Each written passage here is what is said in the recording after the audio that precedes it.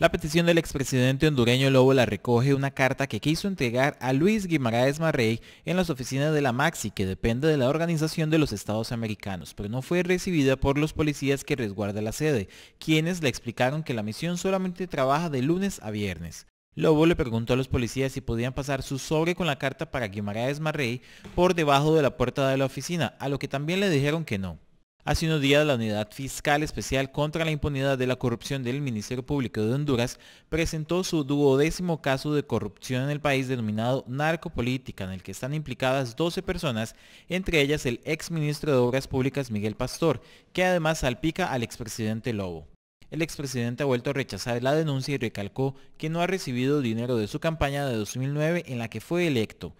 Además, reiteró que la denuncia en su contra forma parte de un pacto de impunidad entre el presidente hondureño Juan Orlando Hernández y el secretario general de la OEA, Luis Almagro.